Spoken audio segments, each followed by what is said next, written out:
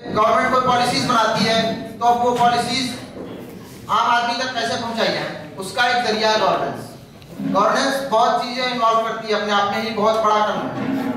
Governance involve करती है execution of the policies मतलब जैसे जो नीतियाँ बनी हैं, उनका एग्जीक्यूशन प्रॉपर हो, वो प्रॉपर आदमी तक पहुँचे। जैसे आधार कार्ड बनने शुरू हुए। अब आधार कार्ड में बहुत लोग तो ये करते हैं, जुगाड़ बनवा के बनवा लेते हैं। वहाँ पे जाके लाइन पे लगना पड़ेगा।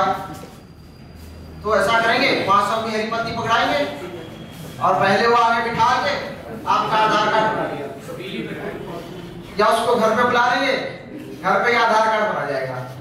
इस टाइप की मेंटालिटी है।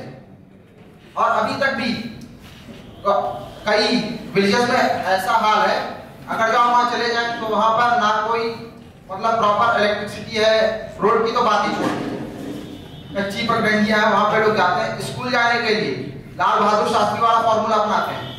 जैसे वो नदी तैयार करके जाते थे तो इसे मालूम है प्राइमरी स्कूल भी नहीं है वहाँ पे।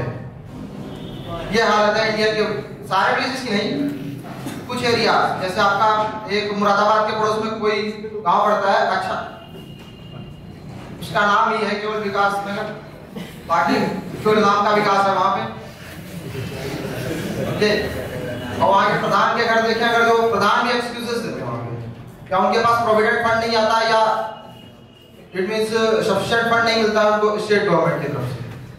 उन्होंने अपना अपना घर तो बना लिया। खुद के बच्चे पढ़ रहे हैं फरारी गाड़ी खड़ी है, घर के बाहर। ठीक है? और उसके बाद उनसे पूछे तो ये बताते हैं कि स्टेट से फंड नहीं मिला। स्टेट से नहीं फंड नहीं मिला तो गाँव का विकास तो हुआ नहीं, लेकिन आपका विकास तो कैसे हुआ?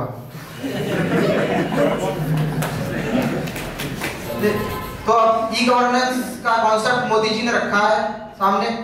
ई गवर्नेंस के थ्रू मतलब हम मीडिया ऑर्डर से होते हैं। जैसे अब आपका आधार कार्ड है, आप जाओगे वहाँ पे